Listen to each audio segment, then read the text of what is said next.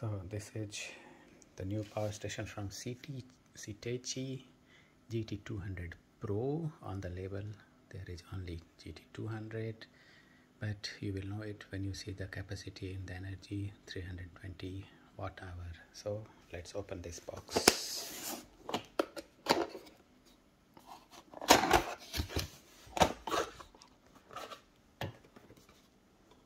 So what is inside? Let's see.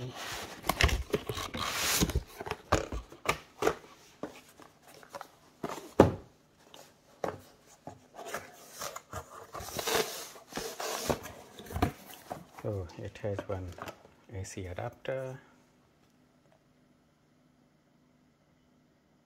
60 watt adapter, one car adapter, seems to be sturdy,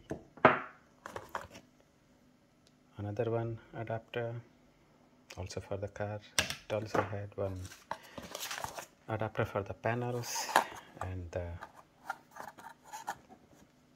instructions manual now over to the then the power station itself which is packed very sturdily so what do we have here? Two buttons. One for the finding out the display. So doesn't seems to work. And one light switch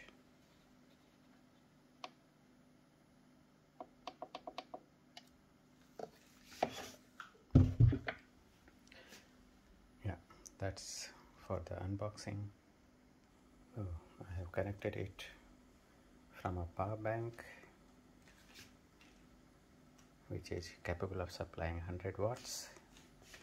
Let's see how much it says that it is charging it with 20 volts and 2.8 ampere. That is almost to say 60 watts so this is also by this power cable shown 56 watts. And let's find out if the self-charging works. AC is on. Yeah in my opinion it should work. And that's what it says. It can charge itself. And how much current it can supply? At least 221 volts is there. And I have charged it itself connected it itself. So it says around 20 hmm, it is increasing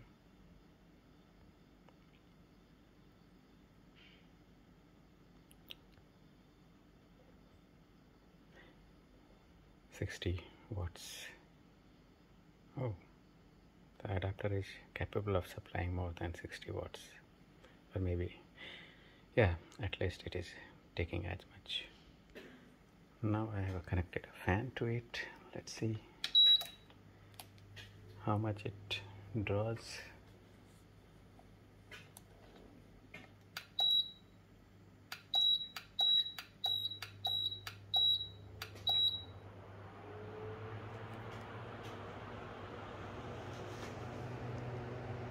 so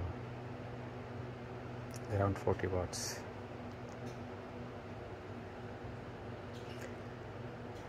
And fan is not running at least at 40 watts it seems then. It seems to be a good one. Good purchase.